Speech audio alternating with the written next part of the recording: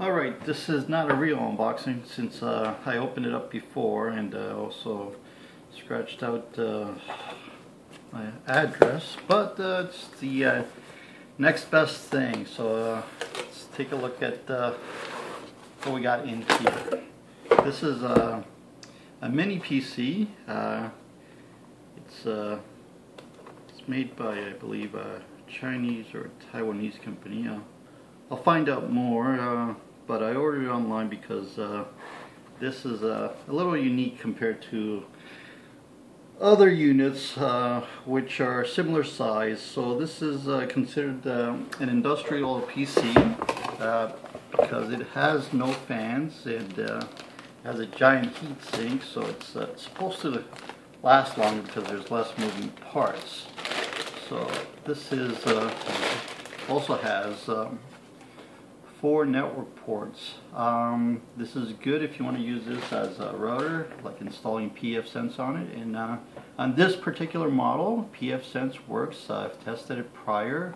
Uh, has uh, models that are uh, two ports uh, variant of this, and I've tried it with that, and it worked out. Also, I've tried it with this, uh, did USB install, and um, it worked out fine. Uh, this also comes in uh, wireless, but uh, uh, don't plan on using the wireless aspect.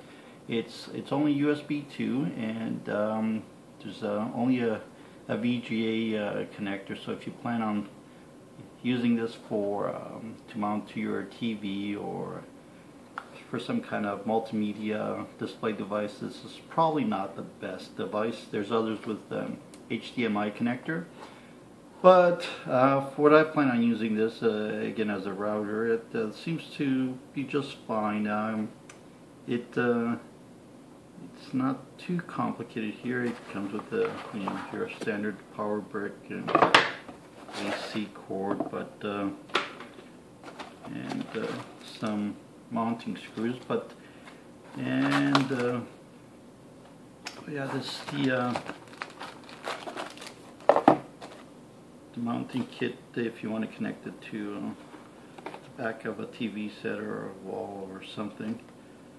And it comes with a, a business card for I guess who's in charge of uh, promoting these. Uh,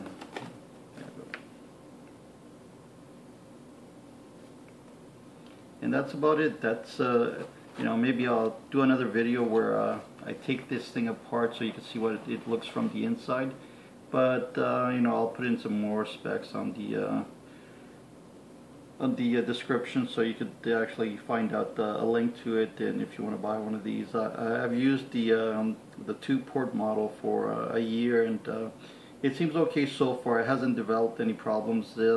This has a MSATA um, disk inside but you could also use you know I think with this model you can't use the 2.5 inch, but there's a taller version that I think you can. Um, the other models you can use uh, uh, other um, other types of drives, but I think this one's limited to the MSATA drive. And uh, that's it for this video.